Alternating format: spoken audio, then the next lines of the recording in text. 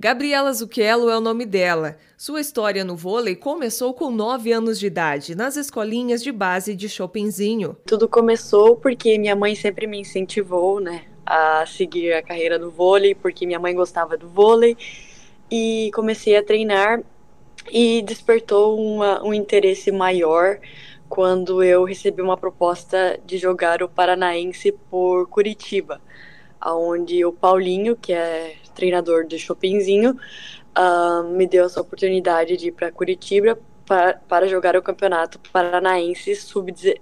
Sub e na época eu era, eu tinha uh, ah, 15 anos, então foi uma experiência assim muito boa para mim. A partir daí se dedicou ainda mais aos treinos. Nesse período recebeu uma proposta para jogar em Marechal Cândido Rondon, onde permaneceu por três anos então veio o convite para os Estados Unidos. Comecei a jogar nos Estados Unidos em 2022, aonde eu recebi uma bolsa 100% em, na Monroe College, que fica em Nova York.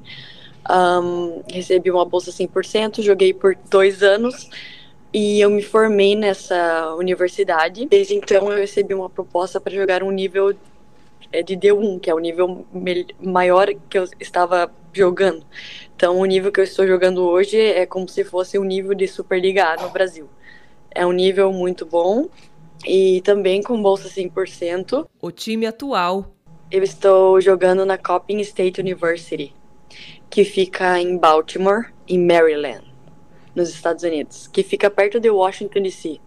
Estuda? Sim, uh, tenho treinos todos os dias, academia três vezes por semana e todos os dias também, ah, na parte da manhã, eu tenho aulas. O esporte e muitas oportunidades. Com certeza, sem o esporte eu não seria nada na minha vida.